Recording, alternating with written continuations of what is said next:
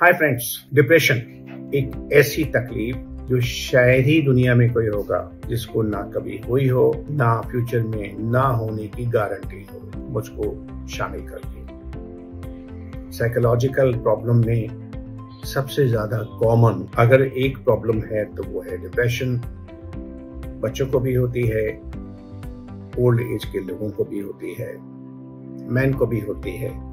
Women को भी होती है अनमैरिड को भी होती है मैरिड को भी होती है हस्बैंड को भी होती है वाइफ को भी होती है। जो लोग जॉबलेस हैं, उनको भी होती है डिप्रेशन की तकलीफ़। जो लोग जॉब में हैं, उनको भी होती है। जिनके पास ज़्यादा इनकम नहीं है, उनको भी होती है, और जिनके पास काफ़ी इनकम है, क्यों होती है, कब होती है, इसके बारे में हम लोग पहले भी कुछ वीडियो में बात कर चुके हैं। जो आपको शायद प्लेलिस्ट में मिल जाएँगे। और आगे भी हम लोग इस विषय पर और विस्तार से चर्चा करते रहेंगे। आज के दिन के वीडियो में हमारा प्रयास ये है कि हम आपको डिप्रेशन के बारे में कुछ वो गलत फहमियों से निकाल सकें जो आपको मदद नहीं करती डिप्रेशन के ट्रीटमेंट में डिप्रेशन के मैनेजमेंट में, बल्कि और उसमें दलदल में गहरा धकेल देती और ये सब बातें ज़्यादातर सुनी सुनाई हैं, जिसको इंग्लिश में कहते हैं वर्ड ऑफ़ माउथ से। मैंने कुछ कहा आपको, आपने कुछ कहा किसी और को, किसी और ने, किसी और को, किसी और ने, किसी और को। बात ओरिजिनली कुछ और थी और पहुँचते पहुँचते न जाने क्या हो उन गलत फहमियों को सही समय पर दूर कर लेना ज़रूरी है, क्योंकि आप हिचकते हैं, किससे पूछें, किससे बात करें, किस डॉक्टर के पास जाएँ डॉक्टर के पास जाएँगे तो कहीं वो हमको मरीज़ ना समझ बैठे, जबकि तकलीफ़ तो हमारे भाई को है, बहन को है मदर को है फादर को है, या हमारे बच्चे को है। और जो इन्फॉर्मेशन आपको इंटरनेट पर मिलती है, वो बहुत सीमित है फ्रेगमेंटेड है, बहुत सेलेक्टेड है, और वो शायद आपके केस के लिए समुचित नहीं है, या आपके केस को सॉल्व करने के लिए सफिशिएंट नहीं है। आप हमारे पास आए, हम बिल्कुल नहीं चाहते। हम आपके पास आकर आपको बताने के लिए तैयार हैं, तत्पर हैं कि डिप्रेशन के बारे में गलत फहमियाँ क्या है। पहली गलत फहमी कि डिप्रेशन एक ही तरह का होता है। नहीं। अलग अलग लोगों में अलग अलग व्यक्तित्व में अलग अलग मानसिकता में अलग अलग परिस्थिति में डिप्रेशन की बहुत सारी वेराइटी होती है। सबका डिप्रेशन एक जैसा नहीं होता। दूसरी गलतफहमी है कि डिप्रेशन एक सीरियस सिकायटिक डिसऑर्डर है। सीरियस मेंटल डिसऑर्डर है। मेंटल वर्ड थोड़ा सा डिस्कम्फर्ट देता है काफ़ी लोगों को और मुझे भी। और सीरियस वर्ड भी काफ़ी एंग्जाइटी पैदा करता है। ये दोनों वर्ड निकाल दीजिए। ठीक है? डिसऑर्डर है, बुखार भी होता है खांसी भी होती है, वो भी एक तरह की तकलीफें हैं। मगर माइंड लाज मुझसे निकल आते हैं। उसके बोझ को ज़िंदगी भर थोड़ी घूमते हैं। अगर मुझे चालीस साल पहले कभी टाइफाइड हुआ होगा हुआ होगा तो आज क्या सिग्निफिकेंस है? या मुझे दस साल पहले डिप्रेशन हुआ तो आज उसका क्या मतलब है?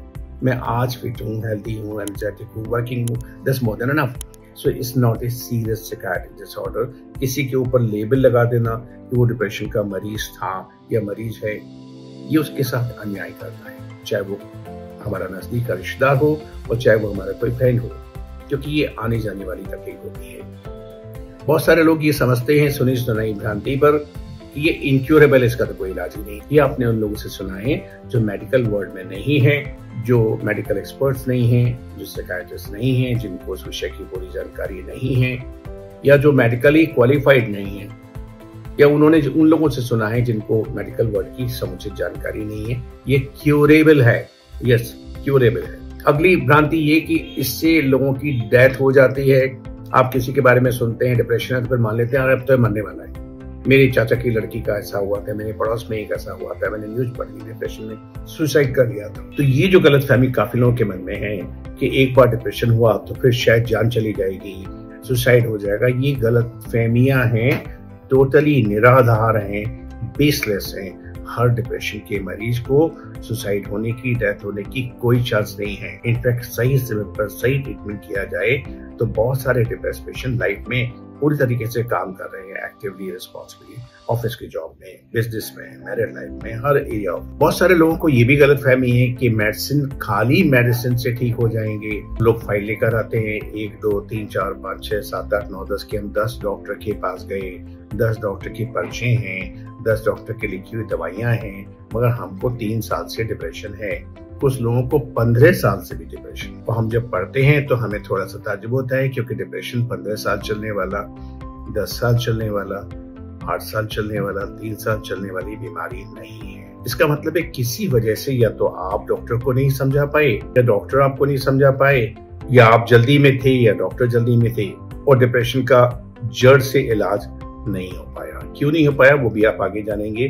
क्योंकि सिर्फ़ दवाइयाँ ठीक नहीं कर सकती। मेडिसिन के अलावा और बहुत कुछ है। साइकोथेरेपी है बिहेवियरल थेरेपी है कॉग्निटिव बिहेवियर थेरेपी है रैशनल मोटिव थेरेपी है। बहुत सारे तरीके से एक एक्सपर्ट मेडिकल पर्सन थेरेपी के बहुत सारे मॉड्यूल यूज़ करके, जैसे एक सर्जन अलग अलग तरह के इंस्ट्रूमेंट यूज़ करता है सर्जरी के दौरान में। वैसे ही एक मेडिकल एक्सपर्ट जो डिप्रेशन में उसको पूरी नॉलेज हो, पूरी उसकी एक्सपर्टीज हो, उसको स्किल हो, वो अलग अलग तरह के मेथड से, जिसमें साइकोथेरेपी काउंसलिंग थेरेपी होती है उससे डिप्रेशन को जड़ से निकालने में आपको एम्पावर कर सकता है, आपको समर्थ बना सकता है। सिर्फ़ दवाई पर डिपेंड दवाई का रोल डिप्रेशन के मैनेजमेंट में शायद वन थर्ड से ज़्यादा नहीं है। 33 परसेंट नहीं तो 35 परसेंट नहीं तो 40 परसेंट बचे हुए 60 परसेंट में रोल डॉक्टर का भी है और रोल आपका भी है। अगर आप खाली दवाई पर डिपेंड करेंगे तो शायद पूरी तरह ठीक नहीं हो पाएँगे। अगली गलत फहमी है कि हमने अगर एक बार दवाई शुरू की तो हमने सुना है कि वे लाइफ लॉन्ग लेनी पड़ेगी किन से सुना है? उन लोगों से जिनको मेडिकल वर्ड की पूरी जानकारी नहीं है, क्योंकि उन्होंने दूसरों से सुना है। मगर डॉक्टर ने ऐसा आपको कभी नहीं कहा। कोई भी समझदार, कोई भी सेंसिबल कोई भी सीरियस कोई भी सीरियस डॉक्टर कभी आपको ये नहीं कहा कि दवाई ज़िंदगी बननी पड़ेगी। अगर आप बहुत सारे एफर्ट्स कर लेंगे तो दवाइयाँ आपकी कुछ महीने के बाद कंसिडरेबली कम की जा सकती हैं और शायद मेंटेनेंस डोज पर मिनिमम डोज पर लाई जा सकती है। हमारे तो हज़ारों पेशेंट हैं जो शायद एक ही गोली लेते हैं। और कुछ महीनों के बाद वो एक गोली भी नहीं लेते।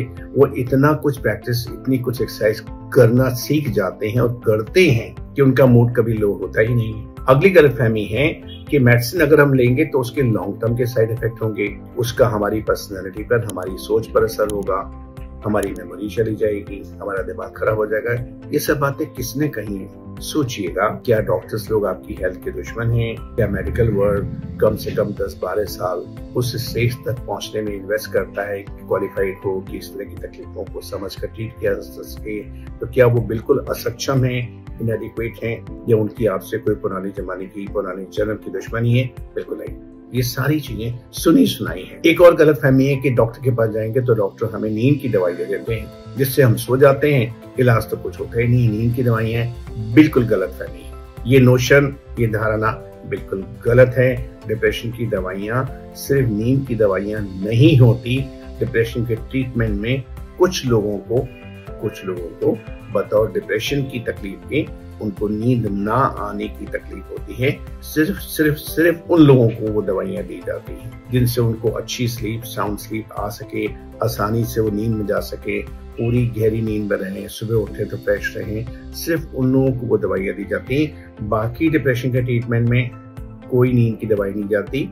आपको जानकर शायद एक नई जानकारी मिलकर खुशी भी होगी। अभी तो बहुत सारी दवाइयाँ ऐसी भी हैं जो सुबह दी जाती हैं नौ बजे, दस बजे, जो एक्टिव रखती हैं यस डिप्रेशन के लिए।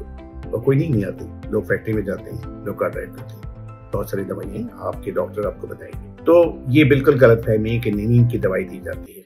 अगली एक गलत फहमी है कि पेशेंट को कुछ नहीं करना है। वो तो बेचारा हेल्पलेस है, वो तो पेशेंट है। डॉक्टर को करना है। हम दस डॉक्टर को दिखा चुके हैं। आपने दस डॉक्टर को दिखाया, बहुत अच्छा किया। आपने सेकंड थर्ड फोर्थ ओपिनियन ली, बहुत अच्छा किया। लेकिन आपने क्या किया? और अगर आपको डॉक्टर ने भी, आपके डॉक्टर ने आपको भी ये नहीं बताया कि आपको क्या करना है आपकी फ़ाइल मोटी होती जाएगी, आप दस डॉक्टर के पास जाएँगे। कई दो घंटे बैठ वेट करने के बाद आपका पाँच मिनट का नंबर आएगा, पाँच मिनट के डॉक्टर से बात करेंगे डॉक्टर दवाई बदल देंगे। वो ट्रीटमेंट डिप्रेशन का नहीं है, क्योंकि आपको डॉक्टर की गाइडेंस में जिसके पास समय हो, जिसके पास संयम हो जिसके पास समझ हो यानी स्किल हो, जिसके पास पेशेंस हो, वो आपको गाइड करेगा कि आप अपनी मनोवृत्ति में, अपने सोचने के तरीके में वो बदलाव ला सकते हैं कि आपको डिप्रेसिव थॉट्स डिप्रेसिव फीलिंग हुए ही नहीं, बढ़े ही नहीं। बढ़कर उस हिस्से तक ना ले जाएँ जहाँ आपको सिकाइट्रिस्ट की ज़रूरत पड़े और उसको कहते हैं सीबीटी कॉग्निटिव बिहेवियर थेरेपी जिसकी ज़रूरत सबको होती है मुझे भी होती है कभी अगली गलत फहमी है कि मेडिसिन जो है, वो कोई ज़्यादा अच्छी मेडिसिन दुनिया में है ही नहीं। हमको जज बन जाते हैं पूरे फार्मास्यूटिकल वर्ड के ऊपर, पूरे मेडिकल वर्ड के ऊपर, बिना पूरी जानकारी लिए। बहुत बहुत बहुत अच्छी मेडिसिन आजकल आ गई है। या कुछ लोगों को भी गलत फहमी है, हम डॉक्टर के पास क्यों जाएँ? हम तो दवाई केमिस्ट से ले लेंगे, अपने आप ले लेंगे। हम ठीक हो जाएँगे? ऐसा नहीं होता। कौन कौन से कंकमिटेंट सिम्टम्स होते हैं? क्या क्या कॉम्प्लिकेशंस हो सकते हैं? किस डोज में किस इंसान को दवाई सूट करेगी? किस इंसान को कार्डियक एलिमेंट पहले से किस इंसान को ब्लड प्रेशर पहले से किस इंसान को ओवर की ओवरवेट की प्रॉब्लम पहले से किस इंसान को अदर मेटाबॉलिक डिसऑर्डर है? उन सब का ख्याल रखते हुए किस इंसान की एज ग्रुप क्या है? उन सब का ख्याल करते हुए डॉक्टर डिसाइड करता है कौन सी दवाई दी जानी है और खाली दवाई नहीं, उसके साथ में और क्या थेरेपी होनी है। इसलिए ये गलत फहमी आपके लिए नुकसानदेह हो सकती है कि आप खुद अपने को ट्रीट कर सकते हैं। ये भी एक बहुत बड़ी गलत फहमी कि शिकायत तो खाली दवाई देते हैं शिकायत तो खाली दवा का पर्चा दे देते हैं। सोचता है कि आप अब तक जिन लोगों से मिले हो, हम उन सब की रिस्पेक्ट करते हैं। वो सभी हमारे प्रोफेशन के कोलीग्स हैं और हम उन सब के बारे में काफ़ी हद तक जानते नहीं हैं। सोचता है कुछ डॉक्टर्स बहुत बिज़ी हो जाते हैं, उनके पास काफ़ी भीड़ हो जाती है। तो वो सबको उतना समय नहीं दे सकते, उतना समय चाह कर भी नहीं दे सकते, उतना समय बाकी पेशेंट भी देने का अवसर नहीं देंगे तो वो खाली दवाई लिख पाते हैं। काउंसलिंग साइकोथेरेपी सीबीटी के लिए वो दूसरों के पास से कर जाते खुद नहीं कर पाते। जबकि हमारा विश्वास है कि एक ही इंसान लिमिटेड पेशेंट लिमिटेड क्लाइंट देखे और एक क्लाइंट को अपने आप, अपनी समझ से, अपने अनुभव से, अपनी नॉलेज से जो जो हमने सीखा है, हमको एम किए हुए 43 ईयर्स हो गए, हमको प्रैक्टिस करते हुए 43 ईयर्स हो गए, हमने 1980 में एम की थी, जो जो कुछ सीखा है हमने, उसका पूरा बेनिफिट हम एक क्लाइंट को दे सके। तो हम कोशिश करते हैं कि उसको सब कुछ वो बताया जाए, वो सिखाया जाए, जिससे उसको डिप्रेशन के गड्ढे से जल्दी से जल्दी निकाला जाए।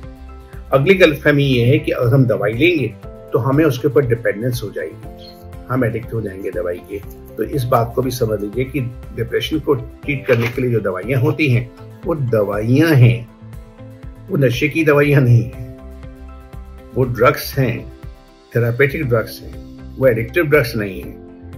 कोई चांस नहीं है कि आप उस पर डिपेंडेंट हो जाएँगे एडिक्ट हो जाएँगे। बल्कि एक सेंसिबल समझदार सीज़न एक्सपीरियंस सीनियर डॉक्टर आपको बताएगा कि कब ये दवाइयाँ टेपर की जा सकती हैं, यानी कम की जा सकती हैं मिनिमाइज की जा सकती हैं, बंद की जा सकती हैं, और उसमें आपका क्या रोल है, वो भी डॉक्टर आपको बताएगा। कुछ लोगों को ये भी गलत फहमी कि डिप्रेशन सबको नहीं होता, कुछ लोगों को होता है, जबकि हम ये कह रहे हैं कि डिप्रेसिव मूड तो सबको होता है डिप्रेसिव रिएक्शन भी सबको होती है।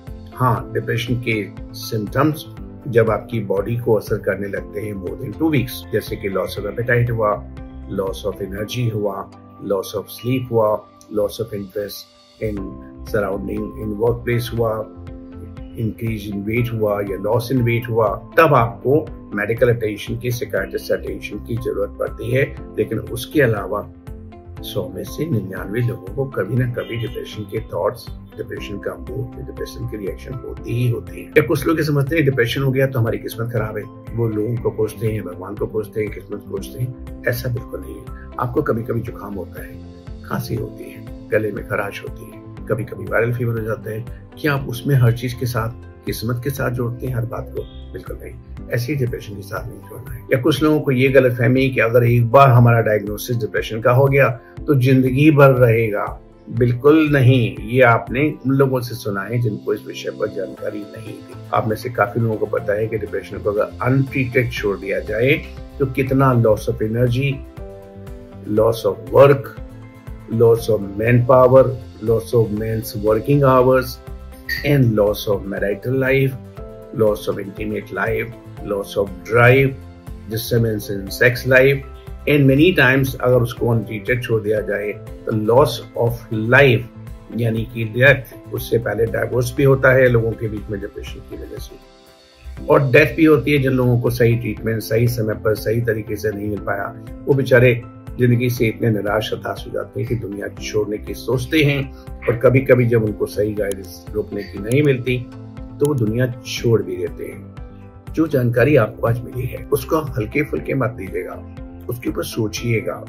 और वो बहुत महत्वपूर्ण, बहुत इंपॉर्टेंट जानकारी है और उसके ऊपर सोचकर याद करके उन लोगों को बताने की कोशिश करिएगा। जिनको इस जानकारी से मदद मिल सके।